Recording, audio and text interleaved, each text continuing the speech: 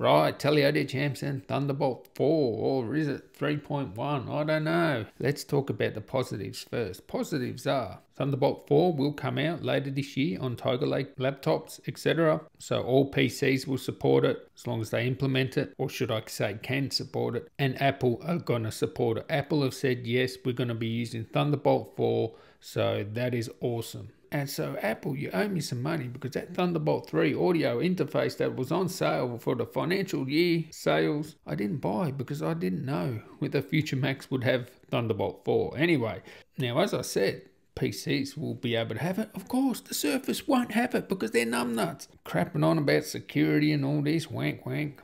Oh, actually, if you look down there at the bottom, it says required VT-d based DMA protection. Now, you could have that enabled before but it wasn't mandatory. So this will be secure out of the box, whereas a Thunderbolt 3 now you have to have that on already. So when I was thinking about Thunderbolt 4, I was not thinking about this because this is like 3.1 to me. I was thinking Thunderbolt 4 would be four lanes of PCI 4.0. We're going to have the same bandwidth of eight lanes of PCI 3.0.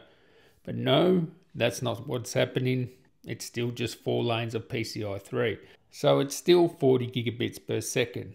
That gives you 32 gigabits per second. Of course, you've got separate display lanes, etc. And you can actually drive two 4K displays now rather than one. And actually, they did show with two 4K displays connected, and they're also getting full 3000 megabytes per second read and writes with an external SSD. So that's really good. You can have four ports now, four Thunderbolt downstream ports. So you can connect to a dock and have four more whereas you used to only have two and it has to support power and also it has to support wake. So you'll be able to wake through the dock. If you have like a keyboard connected to a dock, it'll wake your computer. Also up to two meter lengths cables. Now I've used two meter length cables with Thunderbolt 3. They haven't been an issue. They're not certified. Now they're certified for two meters they reckon they're going to go up to 50 meters or 5 meters to start off with and then maybe 50. I don't know where they're getting this 50 from, but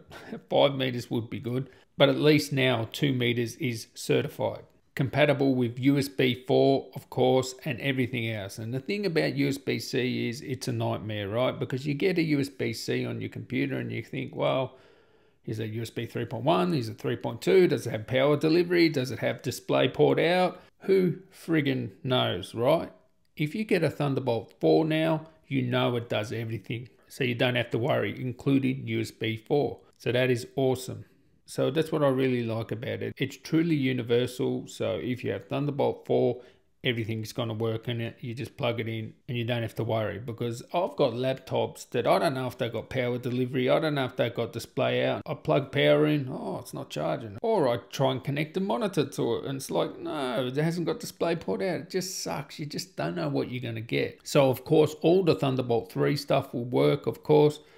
No problem there external graphics there's no extra you know bandwidth there it's going to be the same and let's face it, these days, laptops, if you're talking about laptops, they've got such powerful graphics cards now that really external graphics, unless you can hit both of them at once, is really not an issue here. There you can see here, targeting 5 to 5 meters on the bottom of cable length there. Man, 5 meters is good, 50 meters is just insane. That'll be awesome. And a lot of people ask me, oh, what do you need that for? You need it for fast external storage. I'm not even talking about eGPU. eGPU, who cares, right? And here's the summary. You can read it there.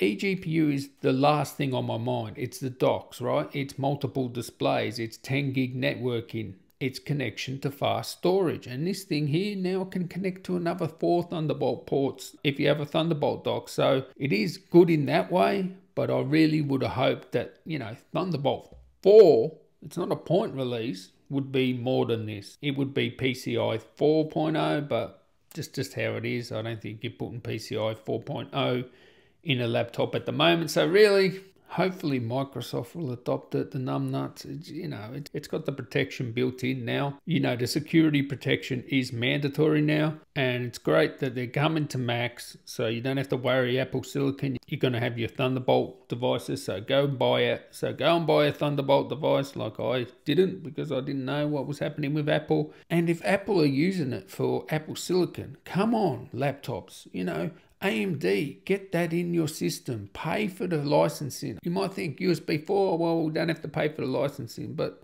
USB 4, you're not going to know. USB 4, USB 3, who knows what it is? You got Thunderbolt, you pay for the certification, everything you know works with it. You got a Thunderbolt logo on it, I can just buy it, I can use it. With USB 4.0, that might not be the case. You might buy some Thunderbolt device and it might not work. That's why Thunderbolt 4.0 is better in my opinion. Come on, laptop manufacturers, more likely, not AMD. Just get some Ryzen systems with some Thunderbolt 4 in it and some decent GPU options. And yeah, AMD for the win there. But anyway, catch you next one, guys. Tally ho.